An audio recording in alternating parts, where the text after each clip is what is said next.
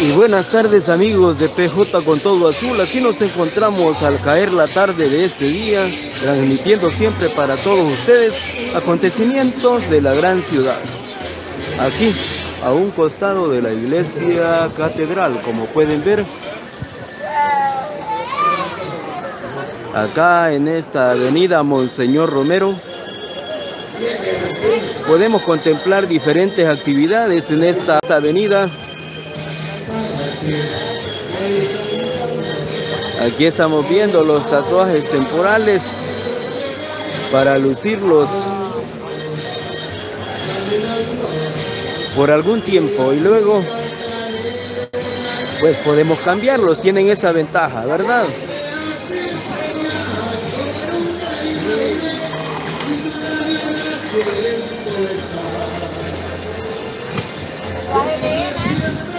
Buenas tardes, ¿qué tal? Para PJ con todo azul, ¿cuánto es el costo de los tatuajes? El de tres días vale un dólar, los cinco días valen dos y los ocho días cuatro dólares. Ah, perfecto. ¿Y, qué es lo que da la duración? ¿La calidad del, de la ENA? Del tinte. ENA, sí. ENA. Sí. ENA se llama el tinte. Es pintura natural, por decir así. Ajá. Y hay de diferentes calidades y de ahí la duración. Sí. Ah, perfecto. ¿Un dólar? El de tres días. El de tres días. Los cinco días valen dos dólares, los ocho días valen cuatro dólares. Ah, perfecto. ¿Ustedes están todos los días acá en la avenida? No, los días que no estamos es lunes y martes. Ya miércoles seguido hasta el domingo. En el transcurso del día hay una hora especial. De una de la tarde hasta las ocho de la noche. A las ocho de la noche. Bueno amigos, aquí en la avenida Monseñor Romero, a un costado de Catedral, pueden encontrar los tatuajes temporales. Así eso le da la ventaja de lucir unos para ciertos días y luego el campo. ¿Qué ventaja le encuentra, amigo? ¿Qué ventaja le da a usted a que son borrables. Y pueden lucir otro, sí. ¿verdad? Diferente. Ya aseguran del mismo, se lo puede quitar y se puede volver a hacer otro y así va, sucesivamente. Invítenlos a nuestro canal PJ con todo azul a que lo visiten acá en la avenida Monseñor Romero. invito a que vengan, se pongan tatuaje y que den una vuelta aquí a la avenida de Monseñor Romero. Por acá les está esperando, ¿verdad? Correcto. Ha sido un gusto. Igualmente.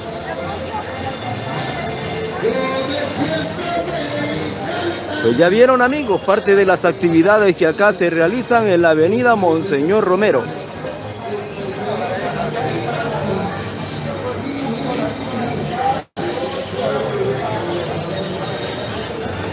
Generalmente a esta hora de la tarde se ubican por acá las estatuas vivientes, pero este día parece que no, no han hecho acto de presencia. Bueno, al parecer está por ahí alguien.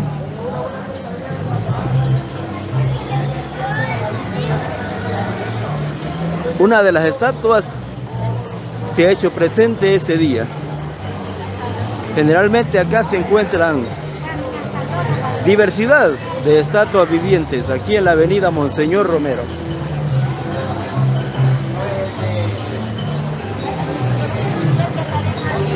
Hombre de madera, dice que es el... Y acá vean, tenemos un árbol. Ah, es Groot.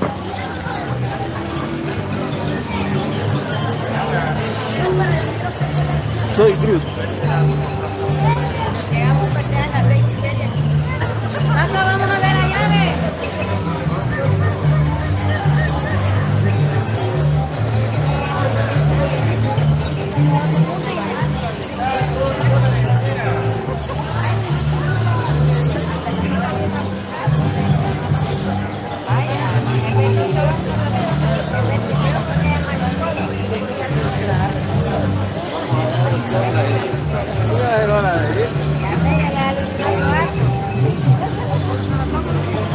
Saben qué? Es el árbol nacional, el árbol nuestro, el maquilisguat, de la representación de Groot,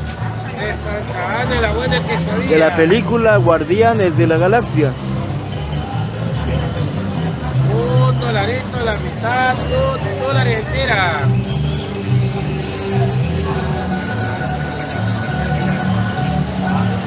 Nuestro árbol nacional, el maquilisguat, ha hecho acto de presencia acá en la avenida Monseñor Romero.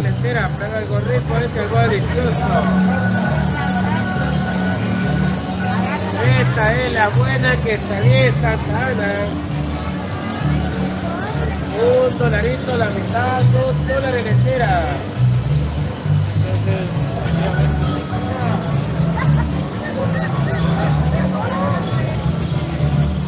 Bueno, ya pudieron observar amigos, nuestro árbol nacional, el maquilisguat, ha cobrado vida.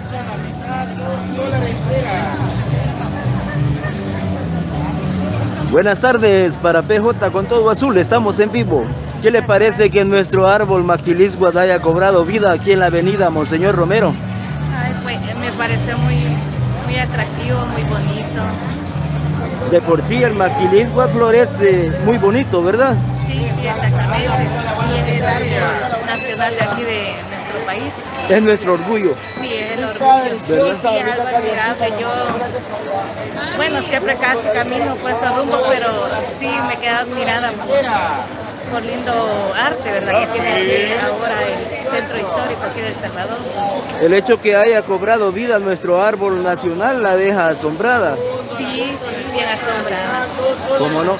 Pues de parte de nuestro canal PJ con todo azul, estamos pues este acá mostrándole a nuestros suscriptores lo que se ve acá en la avenida Monseñor Romero. Un saludo que quiera darle usted a las personas que puedan verle. A mi familia, este, que están en casa esperándome, ¿verdad? A mis compañeros ahí de la empresa de ANDA. Como no, pues va el saludo para todos ellos acá desde la avenida Monseñor Romero disfrutando de las estatuas vivientes. Un placer.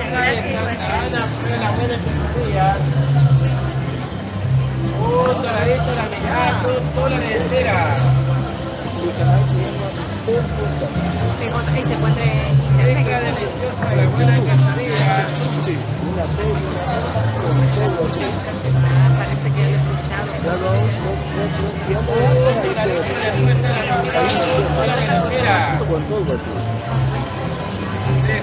Ana fue la buena.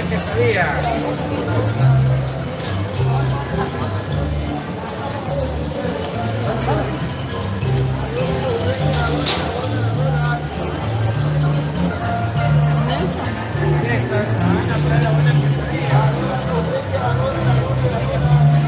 Ya pudimos apreciar el maquilisguat, nuestro árbol nacional, acá en la avenida.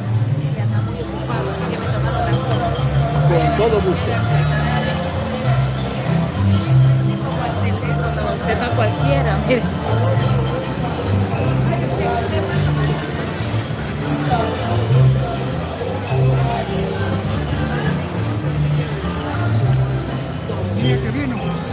Un gusto.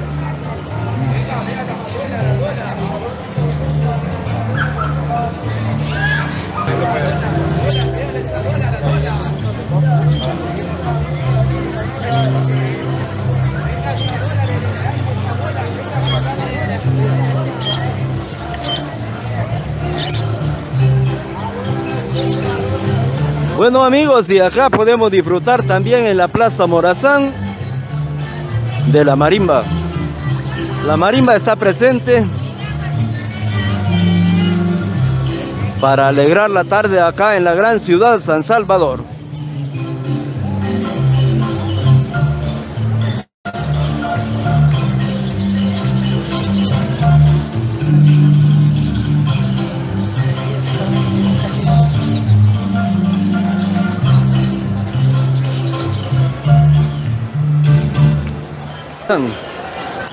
Acá en la Plaza Morazán se hace presente la marimba para alegrar la tarde de los salvadoreños.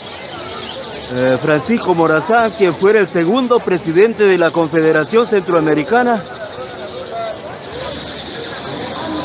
Saben ustedes que en un tiempo Centroamérica era una, bueno, una nación unida. La Confederación de Estados Centroamericanos y Francisco Morazán, su segundo presidente. Así de él recibe el nombre de esta plaza, Plaza Morazán.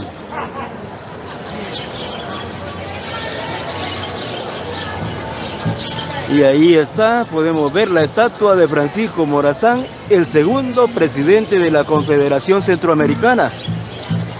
Confederación de Estados Centroamericanos. El primer presidente había sido el salvadoreño Manuel José Arce y este caballero de origen hondureño se convertiría en el segundo presidente de la Confederación.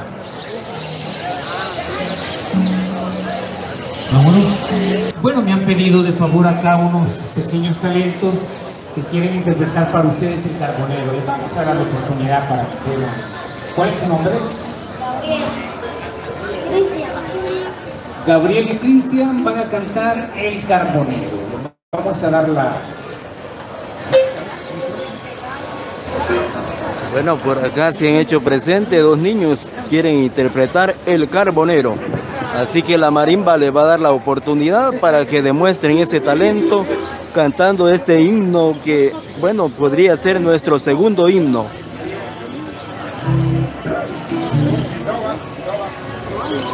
Después del himno nacional, esta canción es muy reconocida.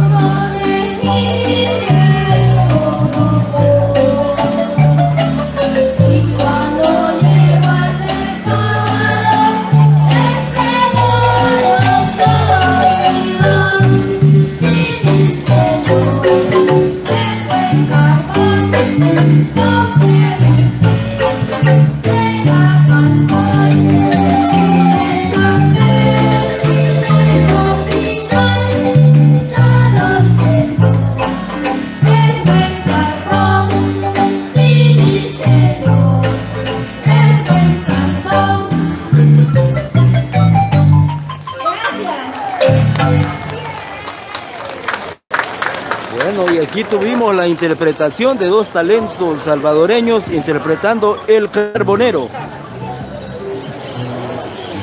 Una canción que es considerada nuestro segundo himno. Buenas tardes, caballero. De PJ con todo azul, un canal de YouTube. Cuéntenos de dónde son sus hijos los, los muchachos. Bueno, ellos este, son de aquí, de, de San Salvador, aunque nacieron en San Sebastián, San Vicente. Y ellos tienen aptitud al canto este, y yo trato de apoyarlos en ese aspecto. ¿Usted es su padre? Sí, sí, así es. Ah, como Yo siempre trato de apoyarlos a ellos y, este, y en, las oportunidades donde ellos puedan cantar, pues ya usted ve que ellos no, tienen pena y así poco a poco pues ir avanzando porque yo siempre, siempre he dicho de que en estos momentos en el país hay un ambiente propicio para que salgan nuevos talentos y apoyarlos. Esto es como un renacimiento de la cultura. ¿Usted es músico? No, no, no, yo soy pintor. Y este, siempre estamos relacionados con la parte de la cultura en general.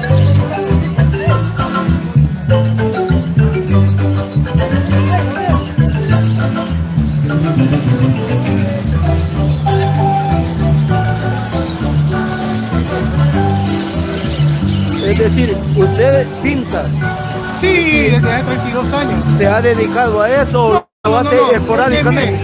Yo siento y, pienso, esta es mi opinión particular, que la pintura debe de ser simplemente una expresión artística, pero este, es mejor buscar otro medio de, de, de su- subsistencia y dejar la pintura como una expresión totalmente del arte, que no nos obligue el hecho de querer vender a ver qué pinto, sino que yo pinto porque amo la pintura y entonces al que le encante nuestra pintura, pues estamos siempre la orden. Y ellos, eh, que le den ahí su nombre, este chiquitín, ¿Cómo, cómo se llama? Cristian. Gabriel. Él, él es el menor. Sí, Gabriel, ah, pues, Hola Gabriel, ¿qué tal? Ellos son dos hermanos. sí, son hermanos. Gabriel y Cristian son los caballeros que hemos acabamos de ver interpretando El Carbonero. Cuéntenos desde cuándo están cantando. Cuando los cuatro años, Cuatro años y ahora cuántos tienes? ocho, Ocho años, cuatro años ya en el canto. ¿Y tú, Cristian? ah, siete. Siete años. Y también ya tienes varios días de estar cantando. Sí, tenía de los tres años cantando. De los tres, también tienen cuatro años cada uno de experiencia. Ah, perfecto. ¿Cómo no? ¿Y quién les ha enseñado? Mi papi, Ah, su padre. Vean el responsable. ¿Y su nombre cuál es, caballero? Tony Martel, Antonio Martel. Entonces él, Cristian Martel. Cristian y Antonio Martel Rivas. Cristian Martel Rivas y Antonio Martel Rivas, los dos cantantes que han interpretado El Carbonero esta tarde. Bueno, pues los admiramos mucho. Ojalá que continúen cantando cuando tengan la oportunidad y les damos un fuerte aplauso de parte de todas las personas que les están viendo, ¿verdad? Un saludo para todos. Pues nosotros les admiramos, admiramos la trayectoria que ya tienen a pesar de estar pequeños, ¿verdad? ¿Usted cómo ha hecho para que ellos se inclinen? Bueno, es que lo que sucede es que, como les repito, siempre hemos interpretado un poco de guitarra y ellos desde pequeños iban escuchando y escuchando hasta que por fin empezaron a cantar eh, La Mochila Azul cuando tenían cuatro años. Y ahí fue donde yo vi que tenía aptitudes para el canto y ellos hemos estado ensayando.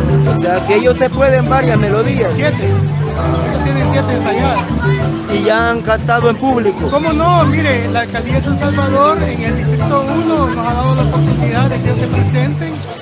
Este, también eh, tengo que decirlo, la diputada Alexia Rivas de Nuevas Ideas este, nos apoya. Yo agradezco mucho eso, agradezco también el apoyo de la alcaldía de San Salvador en el distrito 1.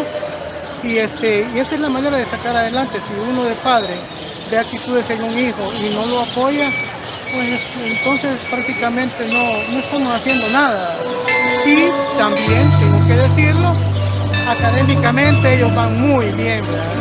El año pasado él tuvo el primer lugar, ahora creo que va a ser lo mismo, él va segundo y el otro va primero. Así que ahí está. ¿Cómo no? Y también en las en las alcaldías ahora están mo- promoviendo mucho el arte. Sí, ¿verdad? es. Están eh, apoyando a los jóvenes para que se superen en el campo artístico. Sí, así, así. ¿Verdad? Así que hay que aprovechar esos espacios. Así es, ¿Verdad? eso hay que agradecerlo y, y como le, le digo, uno de padres tiene que apoyarlo. Si un hijo mancha una pared, pues hay que darle un papel y lápiz con colores para que pinte, para que dibuje y no Si un niño canta, aunque cante mal, entonces igual, si toca un instrumento, aunque sea un cubo de lata, pues entonces hay que ir buscando la manera de meter la casa de la cultura donde estos niños desarrollen esos talentos. Así es la cuestión. Como no, esa frase que ha dicho usted es muy sabia. Apoyarles en lo que a ellos les gusta. Porque hay muchos padres que al muchacho le gusta una cosa, pero él quiere que sea otra cosa. Y entonces ahí hay un fracaso porque al joven no le, no le agrada lo que el padre le impone. Y eso que usted dice en apoyarlos, lo que ellos desean, me parece muy... Y la parte académica no debe de dejarse de lado. De hecho, ellos también dicen poesía. Entonces dicen poesía de Amado Nervo. En fin, otra forma de que este país cambie. Y si tenemos las bases y no las aprovechamos, entonces prácticamente es como que no valiera nada el, el ser padre.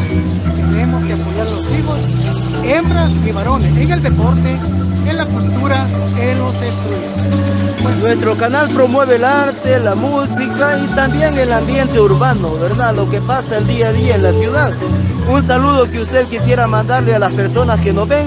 PJ con todo azul es el canal. ok, muchas gracias este, por esta oportunidad. Les mando un saludo, muy agradecido con ustedes y este, yo los felicito por este, por este esfuerzo que hacen de nuestra patria y pues de todo corazón, muchas gracias. Le agradecemos mucho su tiempo. Ha sido un placer. Hasta luego. Adiós.